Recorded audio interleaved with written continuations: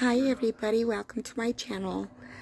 You know, when I got home from work, Liquid was on the porch. Isn't that awesome? I'm so, so excited. And of course, the kitty cat got a surprise. And she got the best gift of all. Check it out. The box. You know, I can spend $50 on kitty cat toys and she'd rather have a box. well, everyone, thanks for watching.